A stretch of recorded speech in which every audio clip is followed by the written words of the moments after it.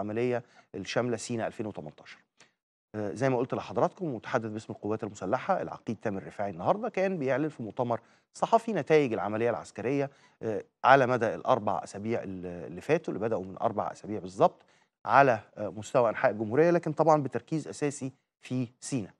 المتحدث ال- العسكري قال إن القوات المسلحة قدرت تمنع وصول أي دعم للعناصر الإرهابية في سينا قطعت كل خطوط الدعم آه، قامت بالتأمين الخاص بالمجرى الملاحي لقناة السويس كما تفعل آه، دائما لكن مع كمان تكثيف للدوريات والكمائن المختلفة آه، تمشيط الأماكن السكنية بالكامل آه، القوات حاليا بتحاصر آه، في المناطق الجبلية آه، أي بؤر إرهابية آه، موجودة.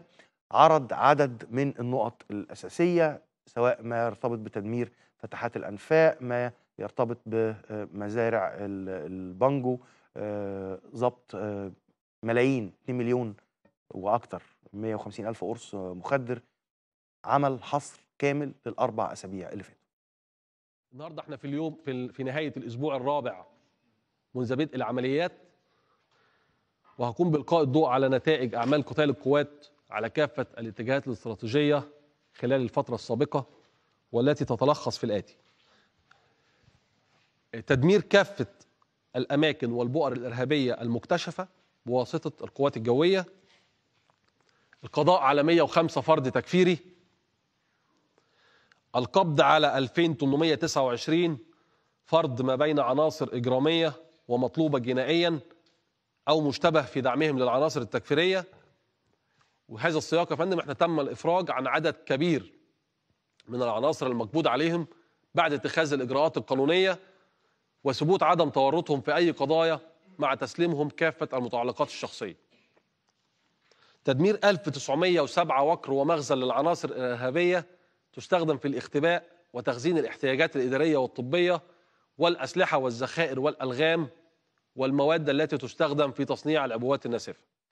مع اكتشاف وتدمير اثنين مركز إعلامي واثنين مركز إرسال تستخدمها العناصر الإرهابية واكتشاف وتدمير 471 عبوة ناسفة وكميات كبيرة من مادة السي 4 والتي إن تي والأسلحة والذخائر مختلفة الأعيرة.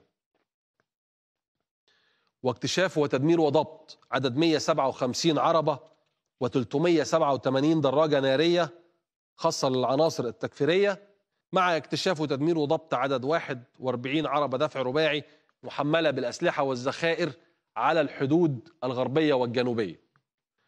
وضبط 129 بندقية خرطوش و461 فرد أثناء محاولة التسلل والهجرة غير الشرعية عبر الحدود الغربية والجنوبية. مع قيام قوات حرس الحدود بالتعاون مع المهندسين العسكريين باكتشاف وتدمير خمسة فتحة نفق على الشريط الحدودي بشمال سيناء. ده طبعا بالتوازي مع ملاحقة العناصر العاملة في مجال زراعة وتهريب المواد المخدرة وتم تدمير 116 مزرعة لنبات البانجو المخدر وضبط 51 و6 من عشرة طن من المواد المخدرة و2 مليون و150 ألف قرص مخدر. ونتيجة لأعمال القتال- القتالية الباسلة لقواتنا المسلحة بمناطق العمليات استشهد عدد 16 من أبطال القوات المسلحة وإصابة 19 آخرين أثناء مداهمة البؤر الإرهابية وتعزي القوات المسلحة شهداء الأبرار وتتمنى من الله عز وجل أن يتغمدهم بواسع الرح- الرحمة والمغفرة.